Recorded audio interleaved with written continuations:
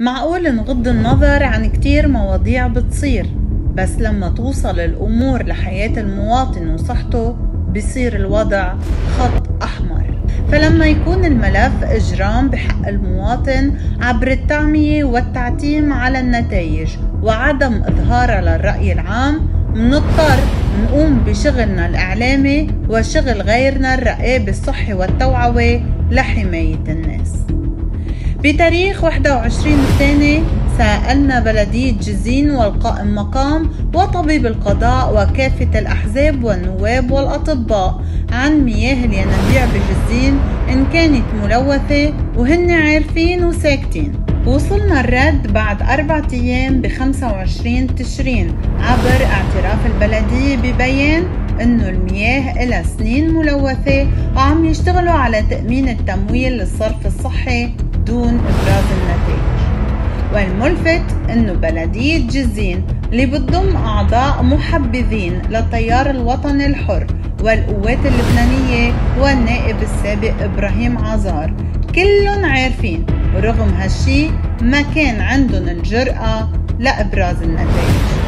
كرمال هيك بواحد كانون الأول توجهنا على نبع عزيبة واخدنا عينة مياه وكفينا فيها على مختبرات غرفة الصناعة والزراعة بصيدا. لتطلع النتيجة غير مطابقة.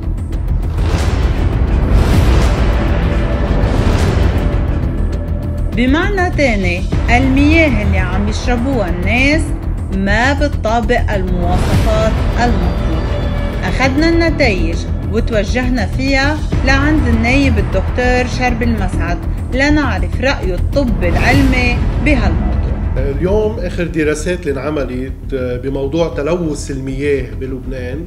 بين عنا أنه تقريبا 70% من مياه الأنهر والينابيع ملوثة. وهذا الشيء بيعود إنه عندنا تقصير من ناحية الدولة أكيد من الناحية الرقابية من ناحية المصانع أو المصافي أو التكرير اللي ما عم ينعمل. والمواطن هو بيتحمل مسؤولية كبرى لأنه في إهمال من هالموضوع بنشوف العالم عم تكب الزباله بالانهر عم تكب الأسمدة عم تكب كثير أمور ملوثة للمياه دون أي حس للمسؤولية. هلأ آه السبب الأساسي هو مياه الصرف الصحي.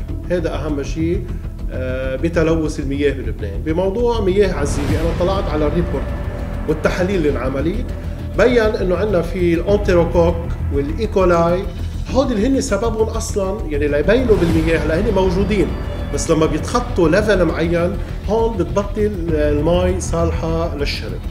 ومنين مصدر ال entérocoques وال E. coli؟ عادة رح نبسط الأمور هلأ ما رح نحكي كثير أمور علمية بس هودي بيعيشوا بمصران الإنسان والحيوانات.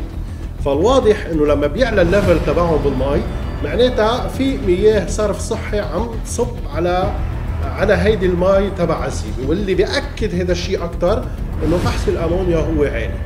هلأ نحن آه مثل ما قلنا 70% من مياه الأنهر هي ملوثة بس بمخص مياه عزيبه أنا رأيي العلمي آه مياه منا سيئة بس غير صالحة للشرب. يعني اليوم ممكن هالأشخاص اللي بدهم يشربوا من هيدي المي يعملوا عوارض نتيجة هالبكتيريا الموجودة بالمي ونتيجة نسبة الأمونيا العالية. من هيدي العوارض اللي ممكن يحسوا فيها وتأثير هذا التلوث على جسمهم بنبلش بالأمراض الجلدية الفطريات ممكن آه، تأثر الأمونيا العالية على على الرواية. والتأثير الأساسي رح يكون على المصران. يصير في عندنا مع الوقت التهابات بالمصران إسهال استفراغ حالات تقيؤ ارتفاع بالحرارة. ممكن هذا الشيء يستدعي دخول المرضى للمستشفى. وممكن في بعض الأشخاص اذا مناعتهم قويه لأنه أصلا الإيكولاي موجودة بجسم الإنسان الطبيعي. بس في أشخاص مناعتهم بتكون قوية ممكن ما يحسوا بالعوارض. بس إلى حين آه، ينعمل حل لموضوع المياه الصرف الصحي ينعمل لها تكرير قبل ما تنزل تصب على هيدي الينابيع أنا بنصح العالم ما يشربوا من هيدي المياه كطبيب عم بحكي لأنه التقارير العلمية بينت إنه غير صالحة للشرب. ممكن يستعملوها للمياه بالغسيل بالجلي بغسيل الفواكه مع استعمال الكلور أو الأقراص الموجودة بالصيدليات. بس حاليا هذه المياه غير صالحة للشرب برأيي العلمي.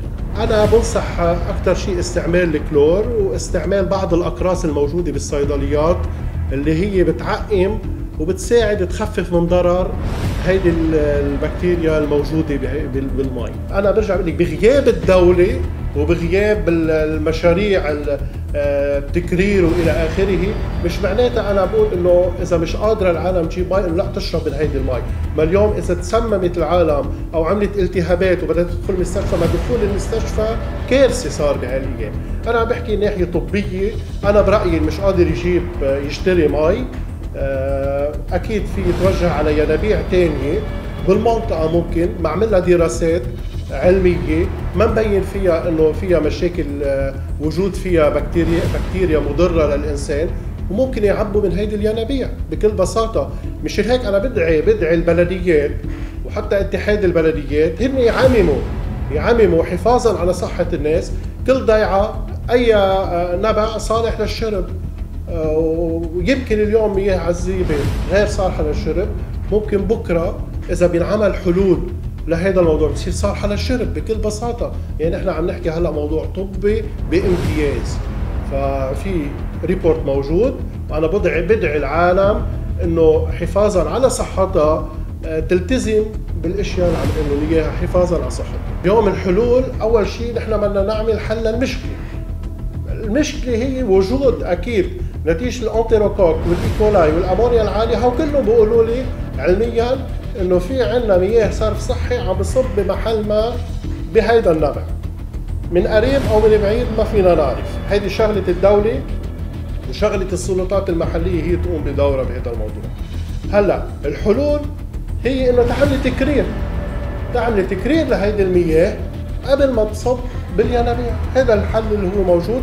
هيدي الوزارات المعنية أنا بحملها مسؤولية بالنهاية هي المسؤولة عن الأمن الصحي وهي مسؤولة عن صحة الإنسان واجباتها هي تعمل كشوفات دورية على المياه بالضياع أو بالمدن وهي تشوف الحل.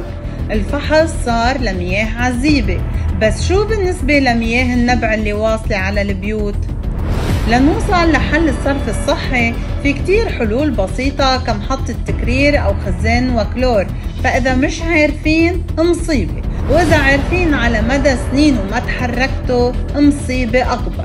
وبتبقى الأسئلة اللي بتطرح. ليه ما واجهتوا الناس بالنتائج ليه تركين الناس تشرب مياه ملوثة؟ ليه التكتم وليه التواطؤ؟ التقرير أضحى. إخبار للنيابة العامة. لكل متواطئ على صحة المواطن.